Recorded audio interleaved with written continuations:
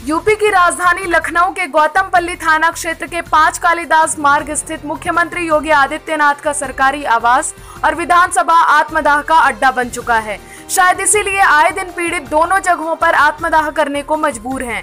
आत्मदाह के मामले लगातार बढ़ रहे हैं, जो प्रदेश की कानून व्यवस्था की पोल खोल रहे हैं ताज़ा मामला हाथरस जिला के इस्माइलपुर गाँव का है। यहाँ की रहने वाली दो महिलाएँ दबंगों से तंग आकर बुधवार को राजधानी पहुँची।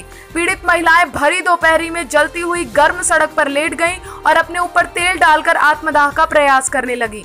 आत्मदाह का प्रयास करके महिलाओं ने वहाँ हड़कंप मचा दिया। आनंद फानन में मौके पर मौजूद पुलिस कर्मियों ने सभी पीड़िता को हिरासत में लिया। पुलिस ने महिला सिपाहियों की मदद से दोनों को हिरासत में लिया और गौतमपल्ली थाने ले गई।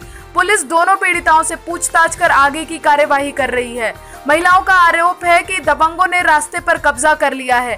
कहीं सुनवाई ना होने पर वो सीएम की चौखट पर न्याय के लिए पहुँची थी।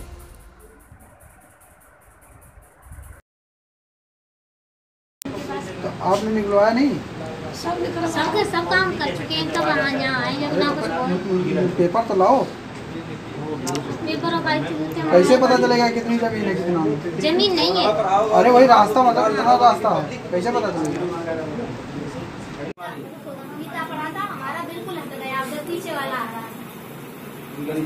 है। जो वाजिब समस्या है वो तो दूर कराई जाएगी।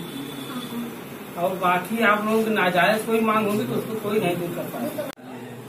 पहले बीस पच्चीस साल पहले बना हुआ था। सर पहले बात सुनिए एक चीज़ भी है सर जो इनका जो रोड है परिक्रमा रोड का इनका भी मकान है अगर अगर आपको हमारा वीडियो अच्छा लगा तो लाइक करें, शेयर करें, साथ ही हमारे YouTube चैनल को सब्सक्राइब करना ना भूलें।